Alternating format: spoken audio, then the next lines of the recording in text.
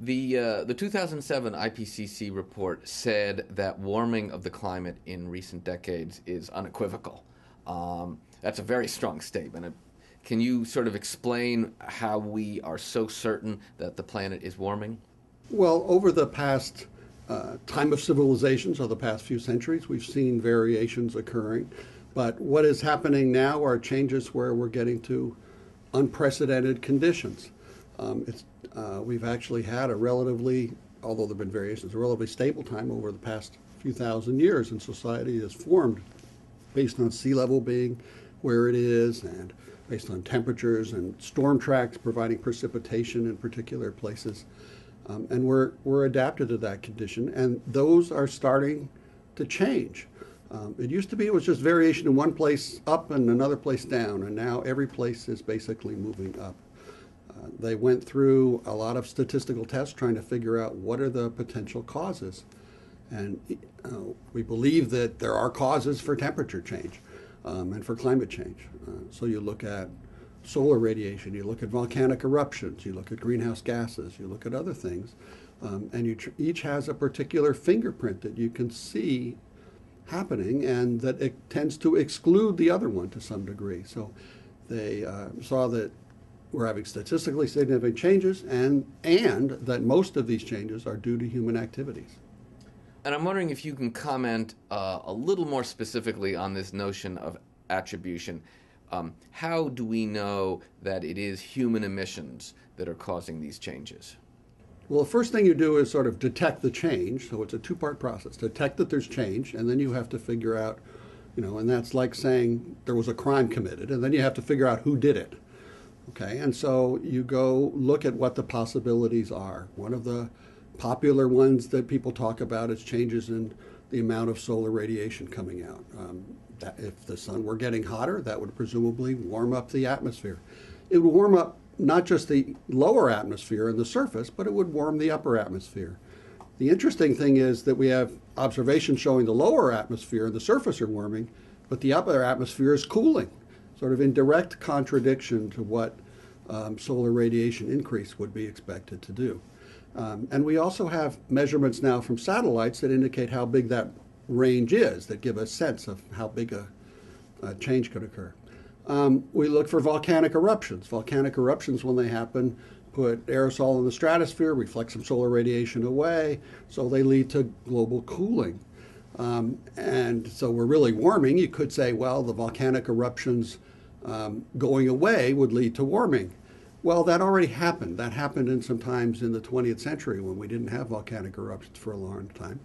And yet we're still getting warming greater than that kind of condition. So it's sort of hard to see how it could be that cause. Um, if you look at this change in atmospheric composition, what you see is that should create warming in the lower atmosphere, but cooling in the stratosphere because it's ba- basically able to radiate the heat away more rapidly. And that's indeed what we're happening. And the magnitude of the change is about 10 times as large as the changes in solar radiation. So it just looks like it has to be the very dominant cause.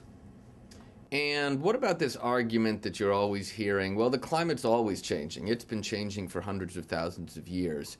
Um, why why should we worry now? Well, over the Earth's history, the climate has been very different. So, in back 65 million years ago, CO2 concentrations were really high. The world was very warm. Dinosaurs roamed all the way to the poles, um, and we've had ice ages. So, life on Earth will survive a range of conditions. Um, most of those changes occurred pretty slowly, and so species could adapt. The one big one, when an asteroid came in and hit the Earth, there was such rapid change that they couldn't adapt, and you had a lot of species wiped out.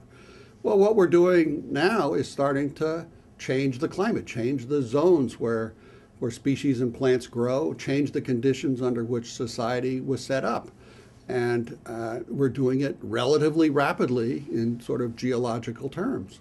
Uh, so if we really start melting, for example, the Greenland ice sheet or the Antarctic ice sheet and, and everything, and we've had sea levels higher before, um, go back 125,000 years, and it was maybe 15 to 20 feet higher.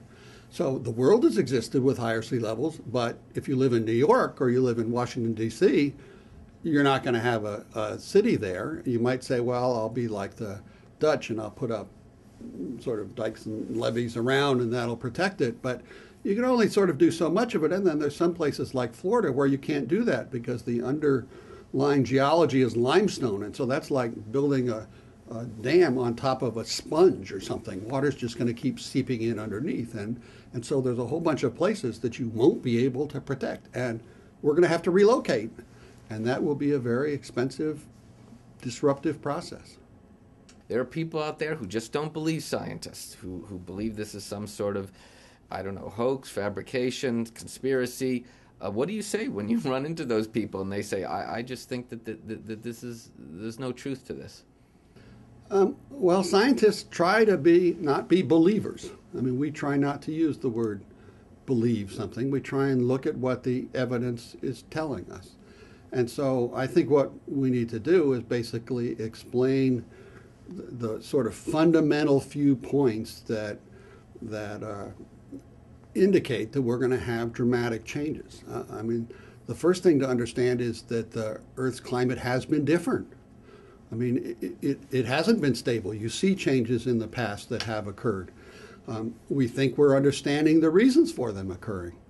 Um, and so, if those reasons or something like them or equivalent to them occur, you're going to expect the climate to change.